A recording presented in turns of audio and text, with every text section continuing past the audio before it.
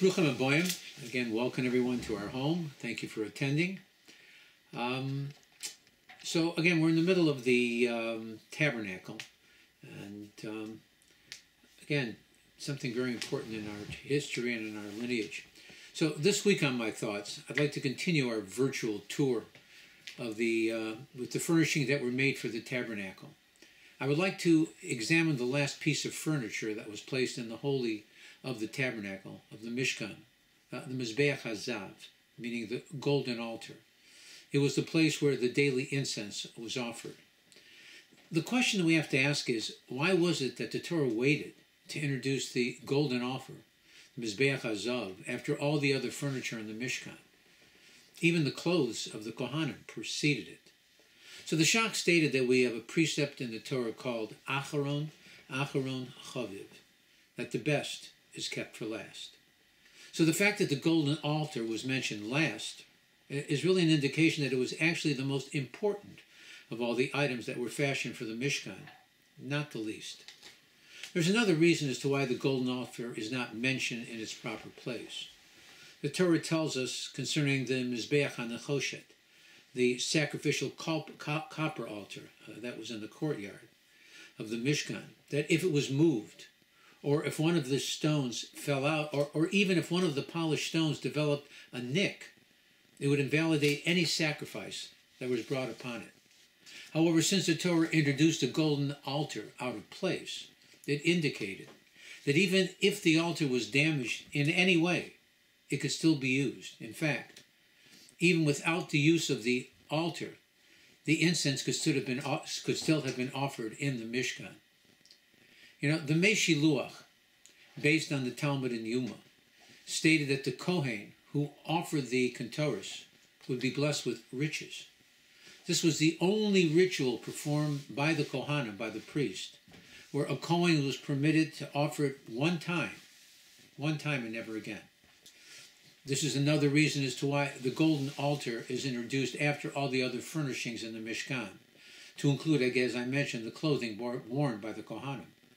Our sages tell us that each garment worn by a Kohen, especially the Kohen Gadol, the high priest, was an atonement for some negative trait that the people possessed. It was only after all of these safeguards were in place that the blessing for wealth could then be given. According to the Ramban, according to Nachmanides, the command to build the Mishkan was given to Moshe before the sin of the golden calf. However, Moshe did not inform the nation about its construction until after they sinned with the calf. Our sages tell us that the Ketoret, the incense, was offered primarily as an atonement for the sins of the soul.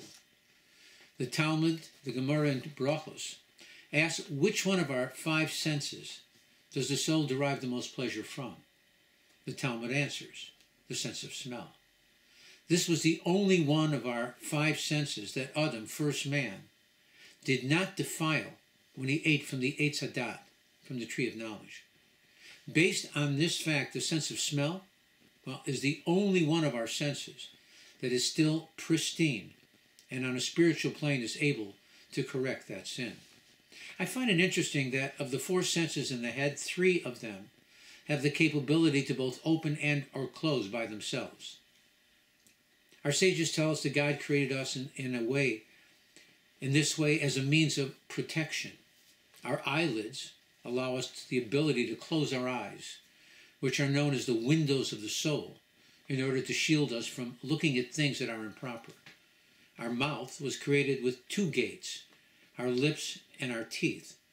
Two gates, one soft and the other hard, to help protect us from saying anything improper. Our sages tell us that our earlobes were created to allow us to close our ears rather than listen to improper speech. However, our nose, well, our nose is the only sense that has no guards. It cannot close by itself. If one wants to close their nose, it can only be done by some outside force, such as your fingers It is the, is the one sense that only gives and does not take. It is also the one sense that does not sin. Our noses function in three ways. The nose is used in breathing, a necessity of life. It is the main gate to the respiratory system. It also functions as an organ of, of, to eliminate waste, again, a necessity for life. In addition, it is also used to smell, a joy that is experienced by the whole body. Most people, when they think of taste, think of the tongue. The truth is that without the sense of smell, you could eat, but without the some assistance from the nose, you couldn't taste anything. Our nose is shaped like an upside down Hebrew letter shin. This letter is embossed on our head tefillin. In the Atbash, a Kabbalistic way of counting, where we exchange the first letter in the Hebrew alphabet with the last letter in the Hebrew alphabet, Aleph and Taf. That's why it's Atbash. The numerical value, of the gematria, of God's ineffable name, what we refer to as the Yud Ke Vav Ke, is 26. When we exchange the letters, the numerical value was then 300. The gematria, the numerical value of the Hebrew letter Shin. As we read in the Torah in connection with the creation of first man, holiness enters through the nostrils. When God first created man, the verse in Genesis states that the V'yipach be'apav nishmas chayim, that God Almighty breathed into his nostrils the breath of life. God breathed into Adam's nose, his nose, not his mouth, since the sense of smell was the only sense that Adam did not taint when he sinned with the tree of knowledge. As it states in the book of Genesis that Adam listened to Chava, his wife, the sense of hearing. He took the fruit from her hand, the sense of touch. He saw that the fruit looked good to eat, the sense of sight. He ate from the fruit, the sense of taste. However, nowhere, nowhere does the Torah state that he smelled the fruit. Ergo, the sense of smell still remained pristine. Even the command to wear our head tefillin states that they should be latotafot beinenecha, for a reminder between your eyes. What exists between your eyes? Your nose. However, it would not have been practical to place a box between your eyes. So we place the box of our head tefillin on our forehead, and then we line it up with our noses, the most pristine organ in the head. Interestingly enough, the nose is connected with both life and death. Did you ever wonder what, what is the reason that we offer a blessing to a person when they sneeze? There was a myth that when a person sneezes, it causes their heart to stop. Well, that is not medically true. It would seem that up until the time of Yaakov Avinu, Jacob our father, death occurred when a person would sneeze. People did not die from sickness. A person would sneeze, and so to speak, they would return to God Almighty the breath of life that He gave mankind when He created Adam. A sneeze actually travels at a speed of 100 miles an hour. Yaakov, our father, was the first person in history to experience sickness and then death. He asked God Almighty for a deathbed experience so as to give a person the opportunity to put their affairs in order and to hopefully to do tshuva, to repent, at least a chance to ask God for forgiveness before they died. So at the time when Moshe was originally told about the Mishkan, there was no need for the Ketores to be offered on the golden altar. Our sages tell us that at the giving of the Torah on Mount Sinai, God Almighty forgave all of the people's sins. In fact, God even forgave the sin of Adam, the first man from, for eating from the tree of knowledge, and immortality was once again returned to the world.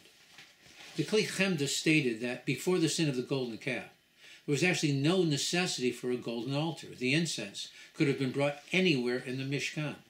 However, after the sin of the golden calf, then it became a necessity to bring the incense in a designated place in the Heichal, a place holier than the courtyard of the Mishkan.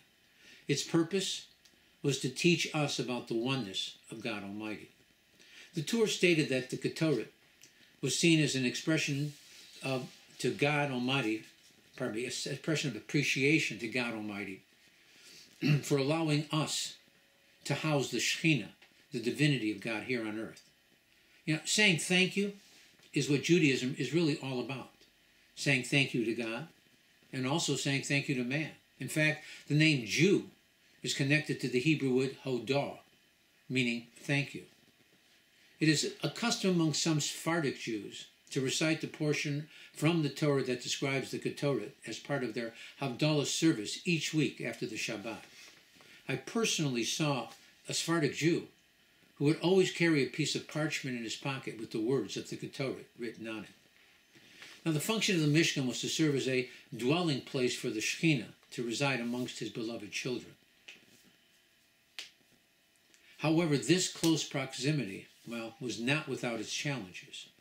It created the possibility of dishonoring God's presence, much like we read concerning the two illustrious sons of Aaron the high priest, Nadav and Avihu, who both died when they entered the Holy of Holies without an invitation from God. The unauthorized incense offering that they both brought with them also contributed to their deaths. The golden altar and its service had the power to quell any divine anger that might occur. This then is another reason as to why the section connected with the golden altar was introduced at the conclusion of the entire description of the Mishkan and its vessels. The Tanhuma stated that God said that out of the sacrifices that you offer me, there is nothing, nothing that I cherish as much as the incense offering. The incense was not brought to atone for sin or iniquity. It was brought primarily to bring joy to God Almighty, our Father in heaven. But Midrash Rabbah stated that on the 25th day of the Hebrew month of Kislev, the Mishkan and all of its vessels were completed. The Mishkan was ready to be dedicated. The people had done all that Moshe had commanded them, and they did so with an alacrity. Now they approached Moshe, hoping to erect the Mishkan. To their chagrin, Moshe told them that God Almighty wanted them to wait before they would be allowed to erect the Mishkan and put it into service. Question is, why did they have to wait? So the first sin in history was attributed to impatience. Adam, first man, was told by God Almighty that he should not eat from the tree of knowledge, which according to Kabbalah was a grape. He was informed that he only had to wait for three hours. When the Shabbat would enter, he would then have taken, been allowed to squeeze the grape and make wine. After making kiddush on the wine, he then would have been able, permitted, pardon, to eat even from that tree. However, due to his impatience, he didn't wait. Prior to his sin, man was immortal. As a result of his disobedience, death was brought into the world.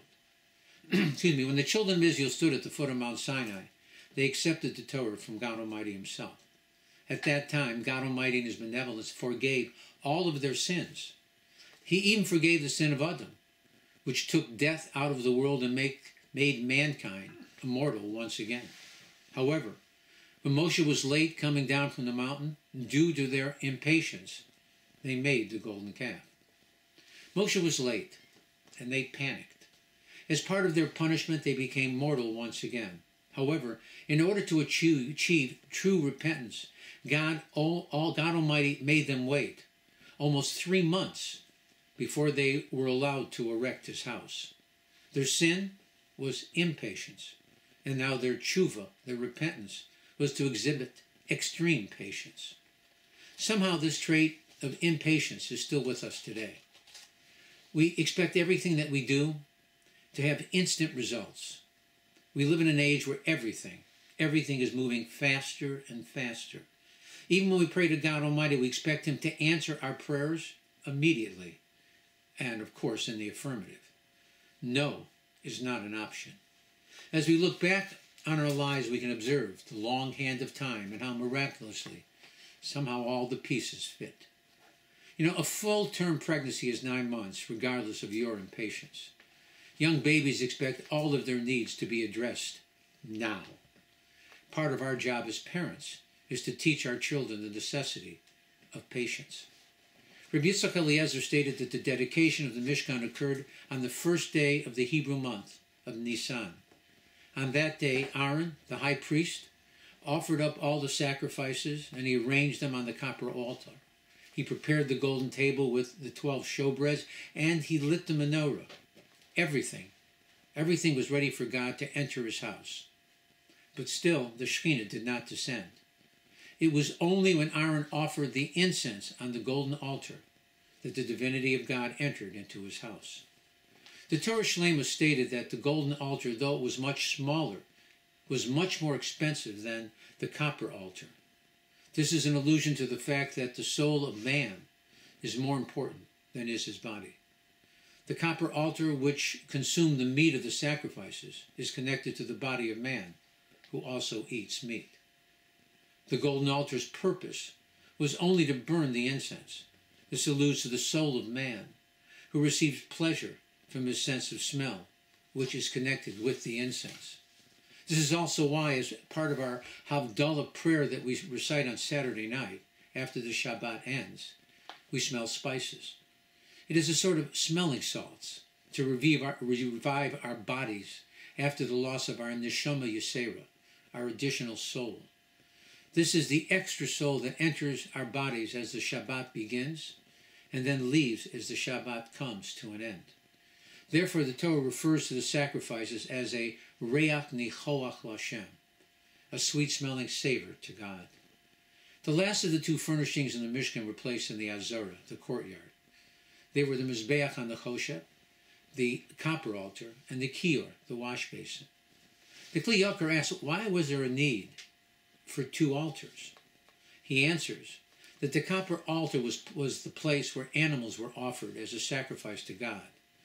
This was perceived as an atonement for the body of man, since animals resemble mankind in many ways.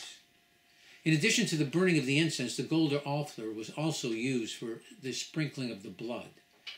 These two rituals complemented each other.